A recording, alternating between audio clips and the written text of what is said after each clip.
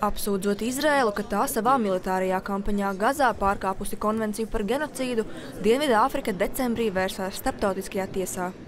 Hāgā bāzētā tiesa šodien pieprasīja Izrēlai veikt visus tās spēkos esošos pasākumus, lai novērstu darbības, uz kurām varētu attiekties ANO konvencija par genocīdu, taču militāro operāciju pārtraukt neuzdeva. Tiesa norāda, ka Izraels militārā operācija pēc 2023. gada 7. oktobra uzbrukuma ir rezultējusies lielā skaitā nāves gadījumu un ievainojumu, kā arī masveida māju iznīcināšanā. Lielākās daļas iedzīvotāji piespiedu pārvietošanā un plašos postījumos civilajai infrastruktūrai. Tās ir ļoti nopietnas apsūdzības, un būtībā Dienvidāfrika starptautiskās kopienas vārdā uh, pret Izrēlu vēršas būtībā starptautiskajā tiesā un lūdz starptautisko tiesu būtībā daļēji arī iejaukties starptautiskajā politikā. Konvencija par genocīda nepieļaujamību un sodīšanu par to paredz, ka ar genocīdu saprotama jebkura tālāk izklāstīta darbība, kas tiek izdarīta nolūkā pilnīgi vai daļai iznīcināt kādu nacionālu, etnisku, rasu vai reliģisku grupu kā tādu.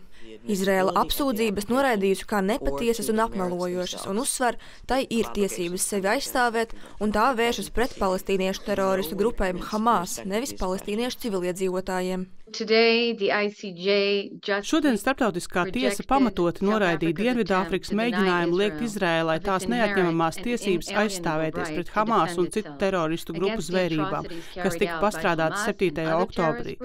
Es arī vēlos uzsvērt, ka Izrēla ir apliecinājusi un demonstrējusi savu apņemšanos ievērot starptautiskās tiesības, tostarp starptautiskās humanitārās tiesības. Starptautiskā tiesa arī dzen aicināja nekavējoties un bez nosacījumiem atbrīvot ķīlniekus, kas ar vienu atrodas Hamas gūstā. Par to atzinību izteica arī Izraels vēstniece Latvijā. Bet vai pēc šodienas sprieduma, kas mainīsies arī praktiski? Attiecībā uz saistošo spēku, ja ANO dalībvalstis nepilda ANO starptautiskās tiesas nolēmumus, tad būtībā var vērsties ANO drošības padomē. Bet, kā mēs zinām, ANO drošības padome var tikt paralizēta uh, konkrētu veto tiesību dēļ, ko var notot tās dalībvalstis. Šajā lietas izskatīšanas posmā starptautiskā tiesa nevērtēja Dienvidāfrikas apgalvojumus par genocīdu Gazas joslā. Šis process prasīs vairākus gadus, un Izraela apsūdzības kategoriski noliedz. Paula Koškina, Ingus Graudiņš, Latvijas televīzija.